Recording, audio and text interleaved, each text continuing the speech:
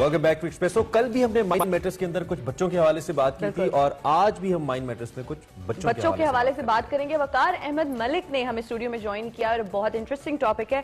बात करेंगे उन तमाम बच्चों की जो कि जीनियस जिनको टाइटल दे दिया जाता है लेकिन वो तमाम वाले जो इस वक्त हमें देख रहे हैं और चाहते हैं कि उनके बच्चे जीनियस हो उनको क्या करना चाहिए कि उनके बच्चे जीनियस होंगे? ये मैं नहीं बताऊँगी वकार अहमद मलिक मलिक बताएँगे और कल के प्रोग्राम के लिए बहुत अच्छा फीडबैक आपने दिया उसका बहुत शुक्रिया। और फीडबैक देते रहिए क्योंकि आपके फीडबैक से हमें बहुत हेल्प होता है कि हम इस मौजूद में बात करें। वकार भाई बहुत शुक्रिया आपने ज्वाइन किया और हमारे साथ मौजूद है। प्लीज़ बताइए आज के टॉपिक को पहली बात तो ये है कि हम हम जीनियस लफ्ज से मुराद के ले रहे हैं? हम्म। एक तो वो अगर हम अपनी सोसाइटी में देखें तो एक बच्चा जो A plus A plus A plus लेता चल चला गया और उसको एक अच्छी जॉब मतलब। मिल गई। हम्म। तो हम ये समझते हैं कि वो एक जीनियस है। हम्म। एक तो ये ये वाला जीनियस है जो जिसकी भरमार है जिसमें मेरे और इमरान जैसे हम जैसे हम सारी जीनियस हैं। तो मैं नहीं हाँ। और है नाम भी जीनियस है। लेकिन एक जीनियस है जिसको हम कहते हैं कि आउट ऑफ़ द बॉक्स सोचने वाला जिसने कोई एक्सप्लोरेशन या कोई डिस्कवरी की हो जिसने मतलब कोई इस तरह का बड़ा आदमी जो आउट ऑफ़ द बॉक्स सोचने की सलाहियत रखता हो वो जीनियस है। तो हमारा डेफिनेटली ये मुराद ये है कि वो जो जीनियस ये जो आउट ऑफ़ द बॉक्स सोचने की हम्म। सलाहियत रखने वाले जीनियस है ये किस तरह यानी वालदेन कैसे अपने बच्चे को एक इस तरह का बच्चा बनाए जो इस तरह का जीनियस हो किस तरह से ट्रेन करें किस तरह ट्रेन करें सबसे पहले तो ये है कि जेहन में ये बिठा लेना चाहिए कि जो बायोलॉजिकल इंफ्रास्ट्रक्चर है वो हम्म। बिल्कुल इस तरह है ये डिजाइंड इस तरह है बच्चा कि एवरी चाइल्ड इज़ जीनियस मतलब उसमें अंदर वो पोटेंशियल पूरे का पूरा मौजूद है कि वो जीनियस है।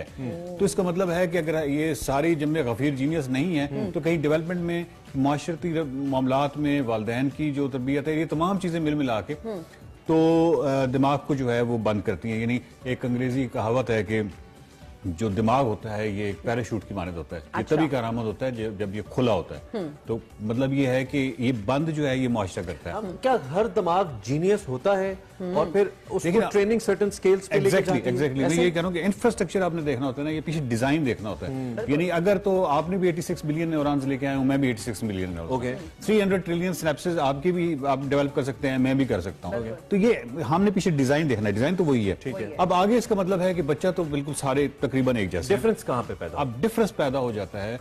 पहली बात कि आपके जहन में ये बिठा लें कि हर बच्चा साइंटिस्ट है तो जब साइंटिस्ट है तो डेफिनेटली वो हाइपोथेसिस भी सेट करता है वो कंक्लूजन भी करता है वो मफरूजा भी सब यानी वो करता है।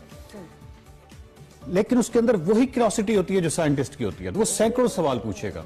तो सैकड़ों सवाल को जो जवाब हैं वो स्नैपसेस जो है वो डेवलप होते चले जाएँगे होते चले जाएँगे। जहाँ पे आप जवाब जवाब सवाल वो वो पूछेगा टैबोज होंगे। जहाँ पे आपको शर्म आएगी कई ऐसे सवाल पूछेगा जहाँ पे आपको खौफ होगा। लेकिन आपको आपको जेन में ये रखना चाहिए कि ये जो जो सवाल पूछ रहा है कुछ जान बूझ के मुझसे नहीं पूछ रहा है ये फितरत पूछ रही है। हम्म। क्योंकि वो बिल्कुल एक वो तो मासूम है। अक्सर वालदेन जो है वो बच्चों को स्नप कर देते हैं कि ये नहीं पूछना बेटा ये क्या सवाल हुआ? चुप करो तो मैं वही कह रहा हूँ कि आप एक तो ये तो मतलब आउट ऑफ़ उसमें है ना कि आपने हम्म। जवाब नहीं देना। हम्म। जवाब तो आपने दे नहीं देना है। दूसरी बात यह है कि आपने उनको एक खुल मवाके खुले देने हैं। अच्छा। आपने देखे कि एकेडमिक जो रिकॉर्ड होता है हम्म। ऐसे बच्चों का कोई इतना अच्छा नहीं होता कभी हाँ भी जो जो आउट ऑफ़ द बॉक्स सोचने की सलाहियत रखते हैं। जीनियस वो वाले बच्चे जो दूसरे हैं पढ़ाकू टाइप वो नहीं।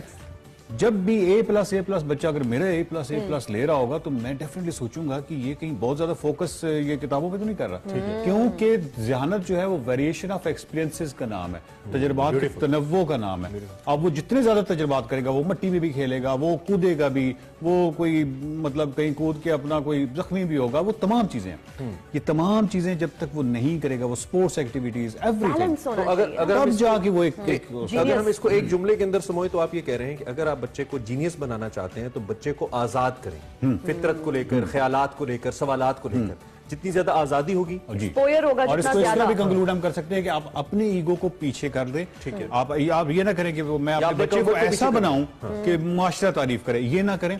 और अगर आपको बहुत शौक है उसको बायोलॉजी केमिस्ट्री या फिजिक्स या इस तरह की कोई भी चीज़ पढ़ाने का हम्म। तो अगर आपको खुद शौक नहीं है हम्म। अगर आपने बायोलॉजी पहले नहीं पढ़ी आप पढ़ लें। बच्चे के साथ मिलकर पढ़ लें। लेकिन ये मुनाफ्त ना करें कि वो बायोलॉजी में हंड्रेड परसेंट नंबर ले। आपको बायोलॉजी का कख नहीं आता। और आप एक एक बड़ा मतलब एक एक, एक देखे ना वैसी बदयांती हो जाती है। देखिए ना हर जो अगर वालदेन की बात की जाए तो सब वालदेन उस तरह से पढ़े लिखे नहीं होते जो वालदेन इस वक्त हमें देख रहे हैं।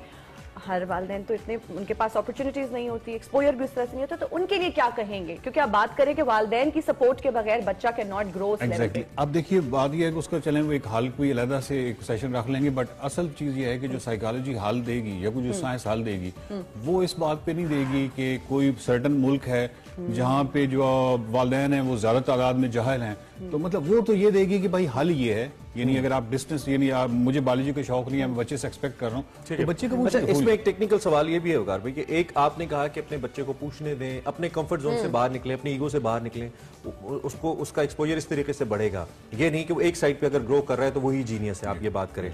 तो हम क्या वालदेन इफ़ आम बीइंग अ पेरेंट या आप बीइंग अ पेरेंट आप अपने एक बच्चे को स्केल कर सकते हैं? कि ये ठीक जा रहा है या नहीं ठीक जा रहा उसका स्केल क्या बताती है हमें साइंस या साइकोलॉजी कि हम किस स्केल पे बच्चे को मापें कि अब अगर ये इस तरह से रिस्पॉन्ड करे तो ये ठीक जा रहा है? मेरा ख्याल है कि इसके सिर्फ़ एक स्केल है वो तजस्स है। वो तजस्स अगर 16 साल की उम्र में फौत हो गया है तो वो फर्दी फौत हो गया। जो 8 साल की उम्र में फौत हो गया तो फर्दी फौत हो गया जो 50 साल की उम्र में फौत हो गया तो फर्दी फौत हो गया। और अगर 80 साल तक तजस्स ज़िंदा है क्रॉसिटी ज़िंदा है और उसकी बुनियाद पे सवाल ज़िंदा है मतलब आप जीनियस तो आप डेफिनेटली उसकी वजह यह कि आप फिर लगे रहेंगे आप फिर लगे रहेंगे। अब आप पैराडॉक्सेस अगर आप देखें वो, वो वाले सवाल जो कि अभी तक हम हल नहीं कर पा रहे there are more than hundred question जो कि फिजिक्स के हैं अनसॉल्व हम्म। ठीक है अब क्रोसिटी वाला बंदा जो है वो तो उसके पीछे पड़ा रहेगा। ठीक इस तरह बायोलॉजी क्या है हर चीज़ क्या है तो वो लगा रहेगा। क्यूरियोसिटी हमें पिक्चर्स भी भेज रही है इस वक्त। हमें भी याद आ गया मगर भाई थैंक यू वेरी मच बहुत इन्फॉर्मेटिव और एट द सेम थोड़ा सा अलार्मिंग भी हमारे लिए क्योंकि हमारे रवैये बच्चों की तरफ़ थोड़े से इग्नोरेंट किस्म के हो जाते हैं यू सेड राइट कि आपको एक्सपोजर बच्चों को वैसे देना है। खैर ब्रेक ले लें। जी बिल्कुल यहाँ वक्त ब्रेक का हाजिर होंगे ब्रेक के बाद देखते रहिए एक्सप्रेस